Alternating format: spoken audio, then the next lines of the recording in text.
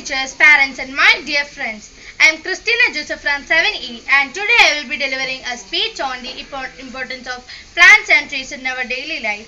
I want to mention that because of our plants and trees we are existing in this universe. Trees are the biggest and the oldest form of our living organisms in the planet and are one of the most important reasons for our survival. From the very beginning they provide us all essentials to survive. They supply food and oxygen to us. The role of trees in satisfying human needs has expanded with human evolution. We can't survive without plants, so we should protect the most valuable gift of our nature. Thank you.